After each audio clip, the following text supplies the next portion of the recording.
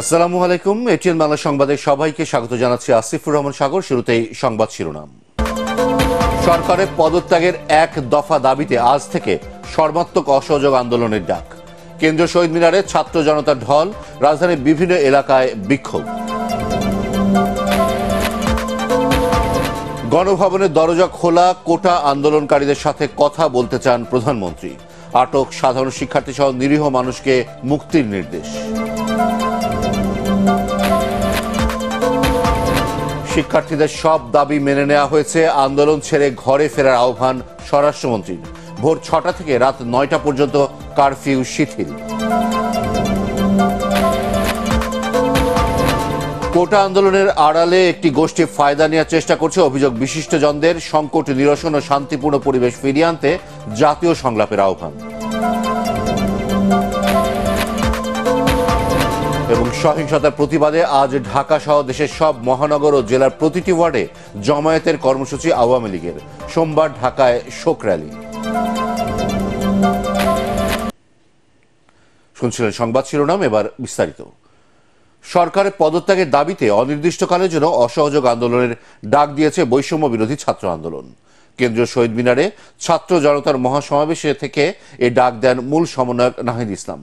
ছাত্র জনতার গণ অভ্যুত্থানে দেশবাসীকে স্বতঃস্ফূর্তভাবে অংশ নেওয়ার আহ্বান জানান তিনি। এ সময় রোববার সকাল এগারোটা থেকে দুপুর একটা পর্যন্ত নিত্যপণ্য ছাড়া সবকিছুই অনির্দিষ্টকালের জন্য বন্ধ থাকবে বলেও ঘোষণা দেওয়া হয়। এমদাদুল হকের তোলা ছবিতে আরও জানাচ্ছেন ইমদাদুল্লাহ বাবু।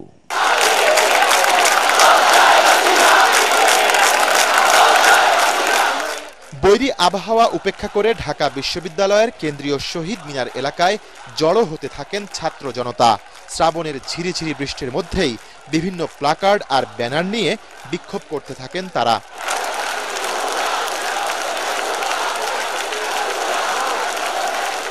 বিকেল নাগাদ কানায় কানায় পরিপূর্ণ হয়ে ওঠে কেন্দ্রীয় শহীদ মিনার। জনস্রোত ছড়িয়ে পড়ে উত্তরে শাহবাগ এবং দক্ষিণে চানখারপুল পর্যন্ত। এরপর সেখানে আসেন বৈষম্য বিরোধী ছাত্র আন্দোলনের সমন্বয়কেরা। স্লোগানে স্লোগানে তখন মুখরিত বিশ্ববিদ্যালয় ক্যাম্পাস। আন্দোলনের শুরুটা কোটা সংস্কারের দাবিতে হলেও ছাত্রদের প্রাণহানি এবং হত্যার বিচার না করায় এক দফা সরকার পতনের ঘোষণা দেন সমন্বয়ক নাহিদ ইসলাম। আমাদের এক দফাটি হলো শেখ হাসিনা সহ এই সরকারের পতন এবং ফ্যাসিবাদের বিলোপ এবং সকল হত্যা গুম নিপীড়নের বিচার করা হবে। সকল রাজবন্দীদের মুক্তি নিশ্চিত করতে হবে। ছাত্র নাগরিক অভ্যুত্থানের মধ্য দিয়ে সাম্য ন্যায় বিচার ও মানবিক মর্যাদার নতুন বাংলাদেশ গঠন করা হবে বলেও জানান তিনি। জনগণকে আমরা আহ্বান করছি আপনারা যে স্বতঃস্ফূর্ত ছাত্র নাগরিক অভ্যুত্থান শুরু হয়ে গেছে তার সাথে এসে যোগ দিন। সকলের সাথে আলোচনার মাধ্যমে ভবিষ্যৎ বাংলাদেশ বাংলাদেশের জাতীয় রূপরেখা আমরা খুব শীঘ্রই আপনাদের সামনে হাজির এ সময় অসহযোগ আন্দোলন চলাকালে ষোলো দফা পালনে জনসাধারণকে আহ্বান জানান আরেক মুখপাত্র আসিফ মাহমুদ। আমাদের অসহযোগ আন্দোলনের আওতামুক্ত থাকবে হাসপাতাল ফার্মেসি জরুরি পরিবহন সেবা যেমন ঔষধ ও চিকিৎসা সরঞ্জাম পরিবহন অ্যাম্বুলেন্স সেবা ফায়ার সার্ভিস, গণমাধ্যম, নিত্য প্রয়োজনীয় দ্রব্য পরিবহন, জরুরি ইন্টারনেট সেবা, জরুরি ত্রাণ সহায়তা এবং এই খাতে কর্তব্যরত কর্মচারী এবং কর্মকর্তাবৃন্দ। নিত্য প্রয়োজনীয় দ্রব্যের দোকানপাট শুধুমাত্র বেলা এগারোটা থেকে দুপুর একটা পর্যন্ত খোলা থাকবে। অসহযোগ আন্দোলনের সব কর্মসূচি শান্তিপূর্ণভাবে পালনে ছাত্র জনতার প্রতি আহ্বানও জানান সমন্বয়কেরা। ইমদাদুল্লাহ বাবু এটিএন বাংলা ঢাকা দিনভর রাজধানীর গুরুত্বপূর্ণ পয়েন্টগুলো ছিল শিক্ষার্থীদের দখলে। রামপুরা, বাড্ডা, আফতাবনগর, মিরপুর, সায়েন্স ল্যাব সহ সব এলাকায় বৈষম্য বিরোধী ছাত্র আন্দোলনের দাবির সাথে সংহতি জানিয়ে বিক্ষোভ মিছিল অবস্থান কর্মসূচি করেন শিক্ষক, শিক্ষার্থী, অভিভাবক সহ নানা শ্রেণি পেশার মানুষ। চলমান সংকট নিরসনে শিক্ষার্থীদের সব দাবি মেনে নেয়ার আহ্বান জানান তারা। আরও জানাচ্ছেন মাজহারুল হক মুহাজির। বৈষম্য বিরোধী ছাত্র আন্দোলনের সব দাবির সাথে সংহতি জানিয়ে রাজধানীতে সরব ছিল প্রাইভেট বিশ্ববিদ্যালয়ের শিক্ষার্থীরাও। সকাল থেকে আফতাবনগরের ইস্ট ওয়েস্ট ইউনিভার্সিটির সামনে অবস্থান ও বিক্ষোভ মিছিল করে সাধারণ শিক্ষার্থীরা। BRAC, North South South East University, Imperial, Motijheel Ideal, Notre Dame কলেজের শিক্ষার্থী সহ শিক্ষক, অভিভাবকদের এতে অংশ নিতে দেখা যায়। যেখানে এখন আমি কথা বলতে পারছি না, আমার কথা বলতে হলে আমার বিভিন্ন জায়গা থেকে এস দিয়ে বলা হয় ডিলেট করে দেন ভিডিও কেন যান হ্যান ত্যান, এই সেই। তাহলে বলেন আমার বাচ্চার ভবিষ্যৎ কি হবে? স্টুডেন্টদের উপর হামলা হয়েছে যা করতেছে দেশের মানুষের সাথে এটা তো আর মেনে নেওয়ার মতো না এই জন্য আমরা সবাই রাস্তায় আসছি। আমাদের গণতন্ত্র নাই আমরা সঠিকভাবে কথা বলতে পারি না। আমাদেরকে পুলিশ বাসা থেকে তুলে নিয়ে যায় এগুলো কোনোভাবেই মানা যাবে না। আমার ছেলের সাথে যারা পরীক্ষা দিচ্ছে আমরা পরীক্ষা দিব না। অংশ নেন অনেক মুক্তিযোদ্ধারাও কোটা সংস্কারের পাশাপাশি দেশ সংস্কারের দাবি তাদের। এই দেশকে স্বাধীন করেছি জনতার জন্য জনগণের জন্য গণতন্ত্রের জন্য। কারও পাপের জন্য এই দেশ স্বাধীন করা হয় নাই। সুতরাং এই স্বাধীনতাকে রক্ষা করার জন্য যা কিছু করার দরকার আমরা মুক্তিযোদ্ধারা এই প্রজন্মে মুক্তিযোদ্ধার পাশে থেকে ইনশাল্লাহ আমরা সামনের দিকে আগে যাব। এদিকে রাজধানী শাহবাগে সন্তানের পাশে অভিভাবক ব্যানারে মানববন্ধন করেন অভিভাবকরা। ন্যায্য অধিকারের যে দাবি আছে সেই দাবির পাশে আমরা তাদের সাথে থাকতে চাই। সায়েন্স ল্যাব এলাকায় সড়ক অবরোধ করে অবস্থান কর্মসূচি করে বৈষম্য বিরোধী ছাত্র আন্দোলন কর্মীরা। পুরো সময় রাজধানী জুড়ে সতর্ক অবস্থানে ছিল আইন শৃঙ্খলা বাহিনী। মাজহারুল হক মুহাজির এটিএন বাংলা, ঢাকা। কোটা আন্দোলনকারীদের সাথে আলোচনায় বসতে চান প্রধানমন্ত্রী শেখ হাসিনা। একই সাথে আটক সাধারণ শিক্ষার্থীদের মুক্তি দেওয়ার নির্দেশ দিয়েছেন তিনি। গণভবনে পেশাজীবী সমন্বয় পরিষদের কেন্দ্রীয় নেতাদের সাথে বৈঠকে প্রধানমন্ত্রী বলেন, আলোচনার জন্য গণভবনের দরজা খোলা, সরকার আর কোনো সংঘাত চায় না। বিস্তারিত মনিউর রহমানের রিপোর্টে। দেশের চলমান পরিস্থিতি নিয়ে গণভবনে প্রধানমন্ত্রী শেখ হাসিনার সাথে বৈঠকে বসেন পেশাজীবী সমন্বয় পরিষদের কেন্দ্রীয় নেতৃবৃন্দ। এতে বৈষম্য বিরোধী ছাত্র আন্দোলনকারীদের উদ্দেশ্যে তিনি বলেন, তাদের জন্য গণভবনের দরজা খোলা। তারা যদি বসতে চায় আমার সঙ্গে, এই আন্দোলনকারীরা, কোটা আন্দোলনকারীরা, আমি তাদের সাথে বসবো, তাদের কথা শুনব, তাদের দাবি দাবি পর্যন্ত যা মেনে নিয়েছে, আরও কিছু আছে কিনা, সেটা হয়তো শুনতে হবে। গণভবনের দরজা খোলা যখনই এই আন্দোলনকারীরা কথা বলতে চায় আলোচনা করে সমাধান করতে চায় আমি তাদের সাথে নিজেই বসতে রাজি। দরকার হলে তাদের গার্জিয়ানদের নিয়েও আসতে পারে। পুলিশ সহ যারা হত্যাকাণ্ডের সাথে জড়িত তদন্ত করে বিচারের কথা জানান প্রধানমন্ত্রী। রংপুরে একটা ঘটনা ঘটেছে যে পুলিশ দায়ী। সেই পুলিশকে সাসপেন্ড করা হয়েছে এবং তার বিরুদ্ধে তদন্ত হচ্ছে এবং তার বিচার হবে। যারা এর সঙ্গে জড়িত সে যেই হোক সে পুলিশই হোক বা অন্য যে কেউ হোক যারা অস্ত্রধারী, যারা এই ধরনের ঘটনা ঘটায়, তাদের সকলেরই তদন্ত হোক, বিচার হোক। তার জন্য আমি যে জুডিশিয়াল কমিটি করে দিয়েছিলাম, সেটা আরও দুজন নিয়োগ দিয়ে এটাকে তিন সদস্য বিশিষ্ট আমরা করে তাদের কর্মপরিধিটাও বাড়ালাম, সময়টাও বাড়িয়ে দিলাম। আমি এটা স্পষ্ট বলি, হত্যাকাণ্ডের সঙ্গে যারা জড়িত, সে যেই হোক অবশ্যই তাদের বিচার করা হবে। একই সাথে সাধারণ শিক্ষার্থী সহ যারা হত্যার সাথে জড়িত নয় তাদের অবিলম্বে মুক্তি দেওয়ার নির্দেশ দেন তিনি। আমি এটাও নির্দেশ দিয়েছি যে এর ভিতরে যারা নিরীহ আছে তাদের সবাইকে এবং ছাত্র যারা যারা একেবারে মানে খুনের সাথে জড়িত না বা সমস্ত ধ্বংসাত্মক কাজের সাথে জড়িত না তাদেরকে মুক্তি দেওয়া শুরু করবে এবং সেটা শুরু হয়ে যাচ্ছে।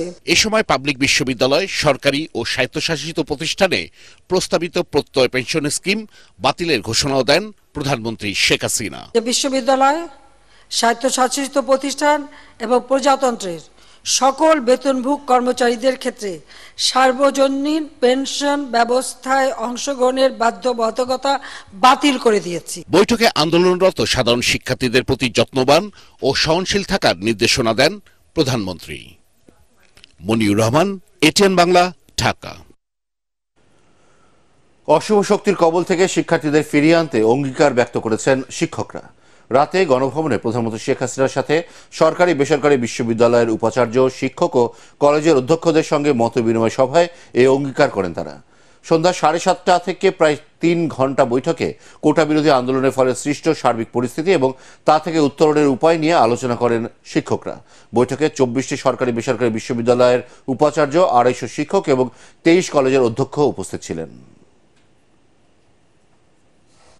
দুহাজার তেরো সালে অগ্নি সন্ত্রাস প্রায় তিন হাজার মানুষ, অনেক সাধারণ মানুষও আগুনে পুড়িয়ে তাদের হত্যা করা হয়। সেই সাতাশ জন পুলিশ এবং তাছাড়া রেল, লঞ্চ, গাড়ি, প্রায় তিন হাজার আটশোর মতো গাড়ি বাস, সরকারি অফিস, ভূমি অফিস জ্বালিয়ে পুড়িয়ে ছাড়খাড় করা হয়। তখনও এত লাশ টানতে হয় দু হাজার তেরো থেকে দু হাজার পনেরো এই ধরনের তাণ্ডব চলতে থাকে।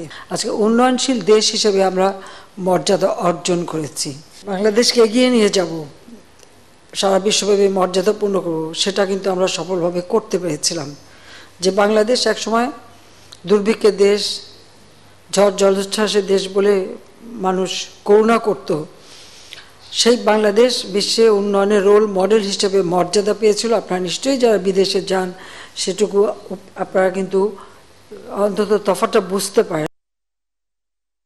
শিক্ষার্থীদের সব দাবি মেনে নেওয়া হয়েছে মন্তব্য করে অসহযোগ আন্দোলন থেকে তাদের সরে আসার আহ্বান জানিয়েছেন স্বরাষ্ট্রমন্ত্রী আসাদুজ্জামান খান কামাল। রাতে সচিবালয়ে আইন শৃঙ্খলা রক্ষাকারী বাহিনীর প্রধানদের সাথে বৈঠক শেষে এই আহ্বান জানান তিনি। এ সময় ঢাকা, গাজীপুর, নারায়ণগঞ্জ ও নরসিংদীতে ভোর ছয়টা থেকে রাত নয়টা পর্যন্ত পরবর্তী নির্দেশ না দেওয়া পর্যন্ত কারফিউ শিথিল থাকবে বলেও জানান স্বরাষ্ট্রমন্ত্রী। এ সময় সাংবাদিকদের প্রশ্নের জবাবে মন্ত্রী জানান, শিশুদের ঢাল হিসেবে ব্যবহার করে তৃতীয় পক্ষ নাশকতা করেছে। গুরুতর অপরাধে গ্রেফতারকৃতরা ছাড়া সব শিক্ষার্থী জামিন পাবে বলেও জানান মন্ত্রী। স্বরাষ্ট্রমন্ত্রী বলেন, আক্রান্ত হলে আত্মরক্ষার্থে প্রতিরোধ করার সাংবিধানিক অধিকার সব মানুষের মতো আইন শৃঙ্খলা রক্ষাকারী বাহিনীর সদস্যদেরও রয়েছে। সব আমার দাবি, কোটা আন্দোলনকারীর সব দাবি আমরা মেনে নিয়েছি। যেগুলি তাদের দাবি ছিল, সব দাবি কোর্ট এবং আমাদের থেকে মানা হয়ে গিয়েছে। তারা যা যা পরবর্তী দাবিগুলি করেছিল, পুলিশকে, পুলিশের বিচারের আওতায় আনার সেও আমরা করেছি। আমার মনে হয় এখন সময় আসছে, আমাদের প্রিয় ছাত্র ভাইরে, তারা যেহেতু তাদের আর কোনো দাবি অবশিষ্ট নেই, তারা আন্দোলন থেকে তারা তাদের স্ব ক্ষেত্রে চলে যাবেন। এটাই আমরা আশা করি। বৈষম্য বিরোধী আন্দোলনে শিক্ষার্থীদের দাবির প্রতি সমর্থন জানিয়ে প্রতিবাদ কর্মসূচি করেছে নানা শ্রেণি পেশার মানুষ। রাজধানীর রবীন্দ্র সরোবরে প্রতিবাদ কর্মসূচিতে সংস্কৃতি কর্মীদের পাশাপাশি যোগ দেন শিক্ষার্থী অভিভাবকরাও। তারা অবিলম্বে শিক্ষার্থীদের সব দাবি মেনে নেওয়ার আহ্বান জানান শারফুল আলমের রিপোর্ট। বৈষম্য বিরোধী ছাত্র আন্দোলনে প্রতিবাদ মুখর সারা দেশ। শিক্ষার্থীদের চলমান দাবির সাথে একমত হয়ে নানা শ্রেণি পেশার মানুষ ঐক্যবদ্ধ হয়েছেন। রাজধানীর ধানমন্ডির রবীন্দ্র সরোবরে প্রতিবাদ কর্মসূচি পালন করেন তারা। বলেন, সন্তানদের হারিয়ে তারা ঘরে বসে থাকতে পারেন না। খুবই সাধারণ ছিল কোটা নিয়ে। সেটা যদি প্রথম দিন মেনে নিত, তাহলে কি আজকে আমাদের এই দিন দেখতে হতো? আমার এই চল্লিশ বছরের বয়সে আমার কাছে আমি কখনো এরকম গুলি দেখিনি। এরকম গুলি যেন আমার ভাইয়ের বুকে না চলে। এজন্যই আমি আজকে আপনাদের সামনে। বাংলাদেশের মাটিতে কেন নির্বিচারে এই বাচ্চাগুলোকে মারা হলো? কোটা সংস্থা খুবই নৈতিক একটা যুক্তি ছিল, তাই না? একটা চাওয়া ছিল। সে একটা লজিক্যাল চাওয়াটাকে এই পর্যায়ে কেন আনা হলো যে আমরা এই পর্যায়ে আসতে আমরা অভিভাবকরা বাধ্য হলাম? বিভিন্ন স্লোগানে উত্তাল সমাবেশ স্থল। শিক্ষার্থীদের সব দাবি মেনে না নেওয়া পর্যন্ত তাদের কর্মসূচি অব্যাহত থাকবে জানিয়ে শিল্পী অভিভাবকরা বলেন কোনোভাবেই নির্বিচারে মানুষ হত্যা করা যাবে না। আমাদের কোনো দফা নেই। আমাদের কথা হলো আমরা সেফটি চাই।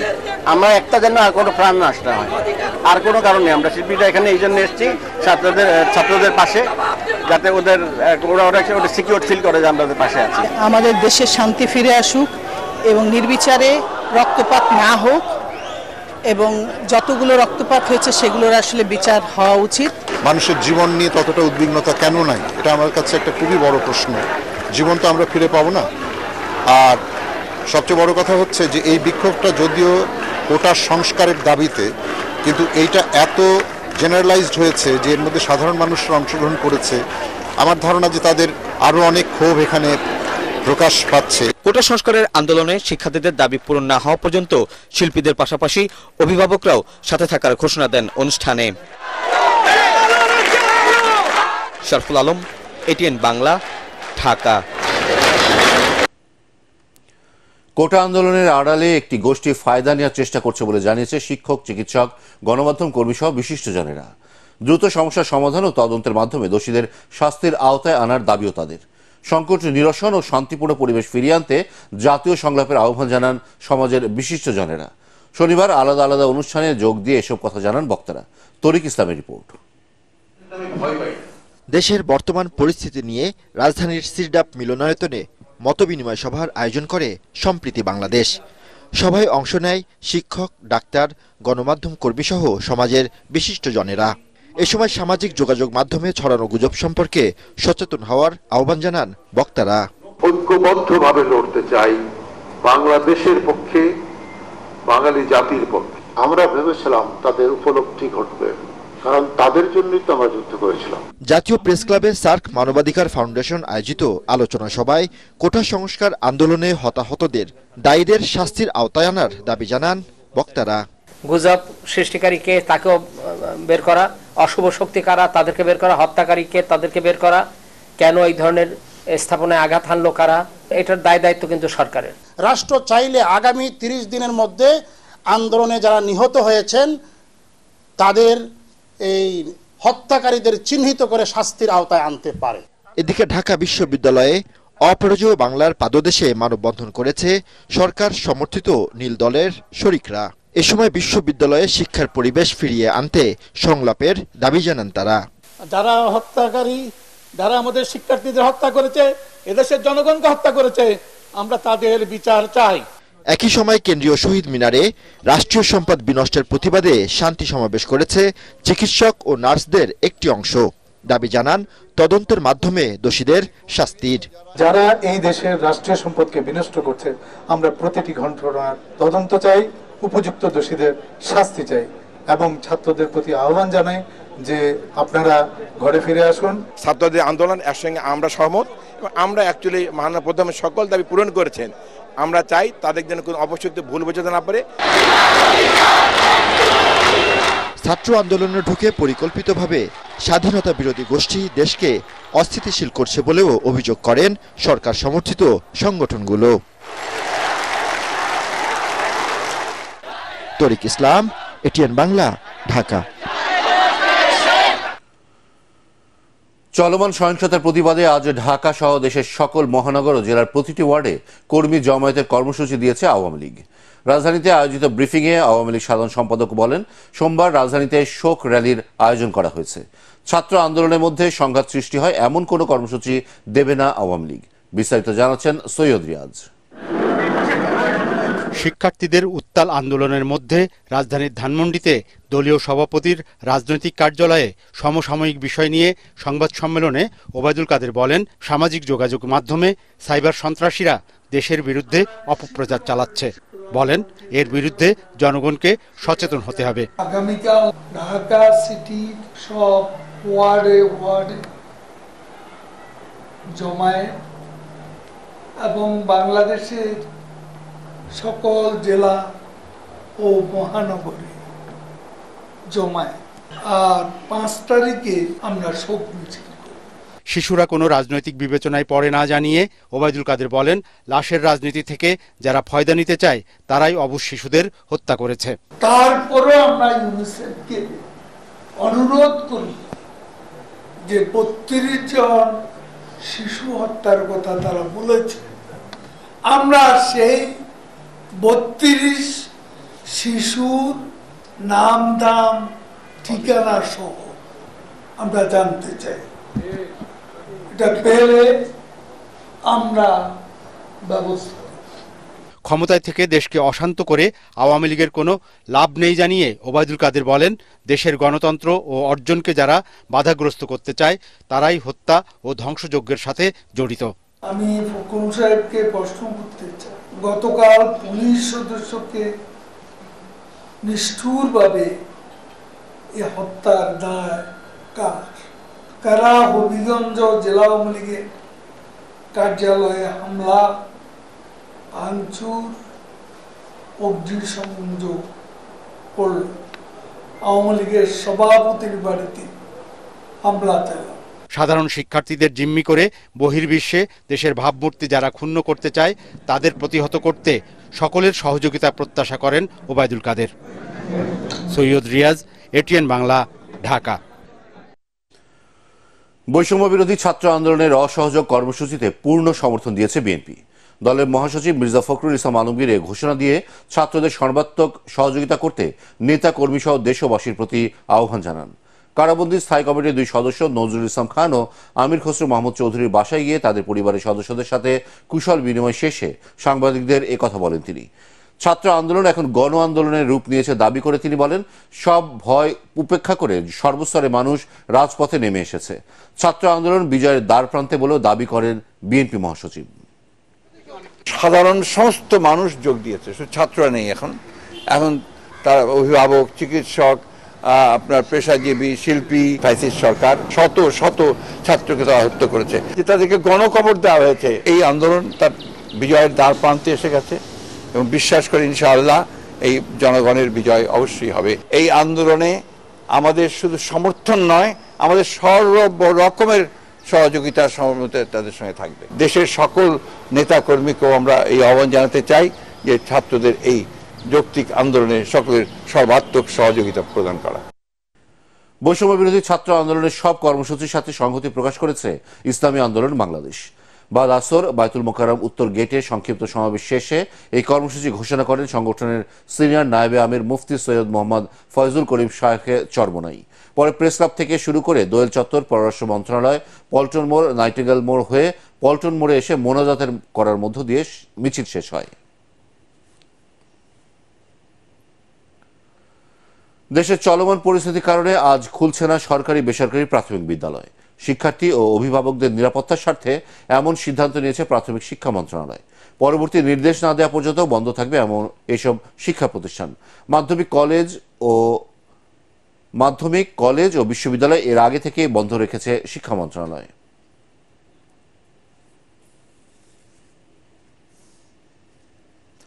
সাম্প্রদায়িক সম্প্রীতি বাংলাদেশের সংস্কৃতি ও ঐতিহ্যের গুরুত্বপূর্ণ অংশঙ্গ এটি বাঙালিদের ঐক্য ও শক্তির প্রতীক বলে মন্তব্য করেছেন ধর্মমন্ত্রী ফরিদুল হক খান।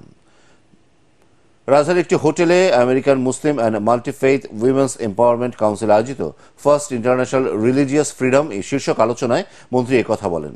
রাষ্ট্রীয়ভাবে ধর্মীয় স্বাধীনতার বিষয়টি বাংলাদেশের সংবিধানে যেভাবে গুরুত্ব দেওয়া হয়েছে, তা সত্যিকার অর্থেই মাইল ফলক বলে উল্লেখ করেন তিনি। আইআরএফ গ্রাউন্ড টেবল চেয়ার বাংলাদেশের চেয়ারম্যান সিতারা নাহিদের সভাপতিত্বে অনুষ্ঠানে এটিএন মিডিয়া কমিউনিকেশন লিমিটেডের CEO, director operation Sajidur Rahman Munim উপস্থিত ছিলেন। বাংলাদেশ আবহমান কাল থেকেই সাম্প্রদায়িক সম্প্রীতির একটি দেশ। এই সাম্প্রদায়িক সম্প্রীতি আমাদের ঐক্য ও শক্তির প্রতীক। সাম্প্রদায়িক সম্প্রীতির এই চেতনাকে আমাদের রাষ্ট্র ধারণ ও লালন করে আসছে। আমরা যদি প্রাচীন বাংলার ইতিহাস থেকে শুরু করে অদ্যাবধি এদেশের ঘটনাগুলি পর্যালোচনা করি, তাহলে আমরা এই সত্যতা উপলব্ধি করতে পারব। দেশের মঙ্গলের জন্য আন্দোলনরত শিক্ষার্থী সহ সবাইকে এক হয়ে কাজ করার আহ্বান জানিয়েছে বাংলাদেশ চলচ্চিত্র শিল্পী সমিতি। দেশ জুড়ে চলা সহিংসতা ও ধ্বংসযজ্ঞে যারা জড়িত ছিলেন, সব ভুলে দেশ গঠনে তাদেরও একসাথে কাজ করার আহ্বান জানান সংগঠনটির নেতারা। এ সময় বাংলাদেশ চলচ্চিত্র শিল্পী সমিতির সাধারণ সম্পাদক মনোয়ার হোসেন ডিপজল, ভারপ্রাপ্ত সভাপতি ডি এ তাইব উপস্থিত ছিলেন।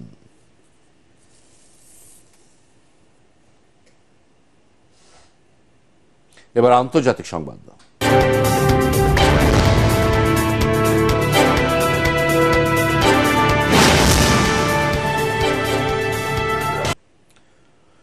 ইসরায়েলে হামলার আশঙ্কায় মধ্যপ্রাচ্যের প্রতিরক্ষা ব্যবস্থা আরও জোরদার করেছে যুক্তরাষ্ট্র। বিবিসি জানায়, সম্প্রতি হামাস প্রধান ইসমাইল হানিয়ার মৃত্যুর ঘটনায় ইসরায়েলে যে কোনো মুহূর্তে হামলা চালাতে পারে ইরান। এমন আশঙ্কায় মধ্যপ্রাচ্যে আরও যুদ্ধজাহাজ এবং বিমান মোতায়েন করেছে যুক্তরাষ্ট্র। একথা নিশ্চিত করেছে পেন্টাগন। এছাড়া ক্ষেপণাস্ত্রের প্রতিরক্ষা বাহিনী মোতায়েনের কথাও জানিয়েছে মার্কিন প্রতিরক্ষা দপ্তর। গেল বুধবার ইরানের নতুন প্রেসিডেন্ট মাসুদ পেজেশকিয়ানের শপথ গ্রহণ অনুষ্ঠানে যোগ দিতে গিয়ে তেহরানে গুপ্ত হামলায় নিহত হন ইসমাইল হানিয়া। এবার জানিয়ে দেব পার্টেক্স খেলার খবর।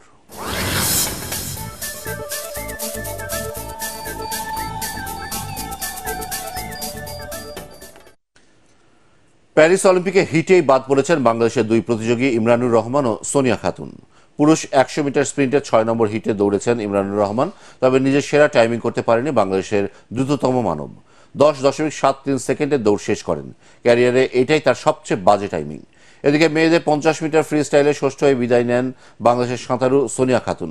পঞ্চাশ মিটার ফ্রি স্টাইলে তিন নম্বর হিটে যৌথভাবে ষষ্ঠ হয়ে বিদায় নেন তিনি। সোনিয়ার সময় নেন তো ত্রিশ দশমিক পাঁচ দুই সেকেন্ড।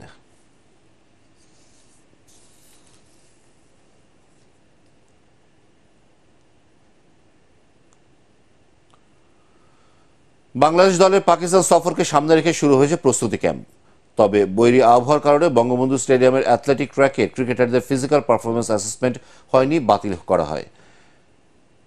পাকিস্তানের সাথে দুই ম্যাচের টেস্ট সিরিজ খেলবে টাইগাররা। রোববার থেকে প্রধান কোচ হাতুরু এর অধীনে চলবে ক্রিকেটারদের অনুশীলন। পরাগার মানে রিপোর্ট। প্রায় পাঁচ মাস পর আবারও সাদা পোশাকের ক্রিকেটে ফিরছে বাংলাদেশ দল। অনুশীলনের প্রথম দিনে মিরপুর শেরেবাংলা স্টেডিয়ামে স্ট্রেংথ টেস্ট দিয়েছেন চোদ্দ জন ক্রিকেটার। তাদের ফিজিক্যাল পারফরমেন্স অ্যাসেসমেন্ট হওয়ার কথা ছিল বঙ্গবন্ধু স্টেডিয়ামের অ্যাথলেটিক ট্র্যাকে বৈরী আবহাওয়ার কারণে তা বাতিল হয়ে যায়। রানিং টেস্টের ক্ষেত্রে এটা নেক্সট ডে ওয়েদারের উপর ডিপেন্ড করবে আর আমাদের প্লেয়ারগুলির অ্যাভেলেবিলিটির উপর অনেক কিছু ডিপেন্ড করবে। কারণ অনেকগুলি প্লেয়ার তো এ টিমে চলে যাবে প্লাস হচ্ছে পরবর্তীতে ন্যাশনাল টিমের প্রোগ্রাম অ্যাড হবে, তো সময়টা বের করে আবার হয়তোবা নেক্সট ডে প্ল্যান করা হবে। টেস্ট ম্যাচ দুটি আইসিসি চ্যাম্পিয়নশিপের অংশ হয়। সিরিজটিকে গুরুত্ব দিচ্ছে বিসিবি। এদিকে টেস্টের জন্য তাসকিন আহমেদ পুরোপুরি ফিট হয়ে ওঠায় স্বস্তি বাংলাদেশ শিবিরে।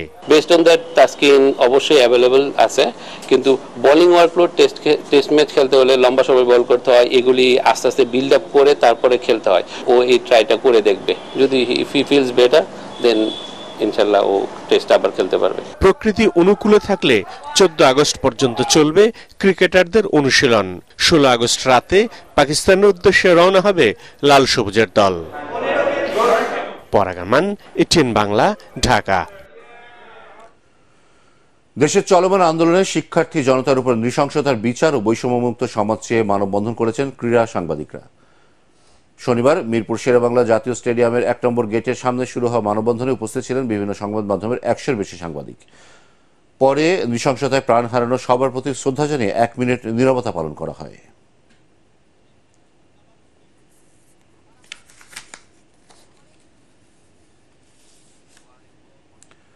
শেষ করার আগে সংবাদ শিরোনাম আরও একবার। সরকারের পদত্যাগের এক দফা দাবিতে আজ থেকে সর্বাত্মক অসহযোগ আন্দোলনের ডাক কেন্দ্রীয় শহীদ মিনারে ছাত্র জনতার ঢল। রাজধানীর বিভিন্ন এলাকায় বিক্ষোভ। গণভবনের দরজা খোলা, কোটা আন্দোলনকারীদের সাথে কথা বলতে চান প্রধানমন্ত্রী। আটক সাধারণ শিক্ষার্থী সহ নিরীহ মানুষকে মুক্তির নির্দেশ।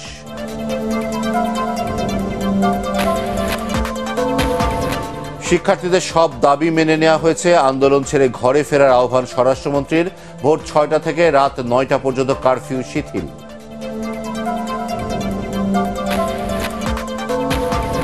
কোটা আন্দোলনের আড়ালে একটি গোষ্ঠী ফায়দা নেওয়ার চেষ্টা করছে অভিযোগ বিশিষ্টজনদের। সংকট, নিরসন ও শান্তিপূর্ণ পরিবেশ ফিরিয়ে আনতে জাতীয় সংলাপের আহ্বান। এবং সহিংসতা প্রতিবাদে আজ ঢাকা সহ দেশের সব মহানগর ও জেলার প্রতিটি ওয়ার্ডে জমায়েতের কর্মসূচি আওয়ামী লীগের। সোমবার ঢাকায় শোক র্যালি। পরবর্তী সংবাদ দেখার আমন্ত্রণ জানিয়ে এখনকার মতো শেষ করছি এটিএন বাংলা সংবাদ ইউটিউবে দেখতে ব্রাউজ করুন YouTube slash ATN Bangla news.